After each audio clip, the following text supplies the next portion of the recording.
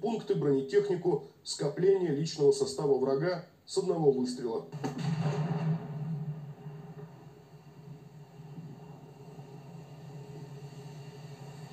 Артиллерийский боеприпас 3F-39 «Краснополь» предназначен для поражения бронированной техники противника с вероятностью до 90%, что исключает попадание.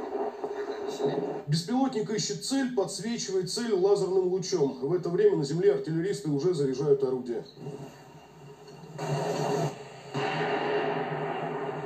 Вот так был уничтожен опорник ВСУ на славянском направлении. Потребовалось всего два снаряда. Формирование киевского режима отходят с боями на заранее подготовленные позиции ближе к Славянску. Российские части и соединения уже в 40 километрах от этого знакового города ДНР. В 2014 году Славянск был оплотом сопротивления неонацистскому режиму и уже 8 лет оккупирован Киевском.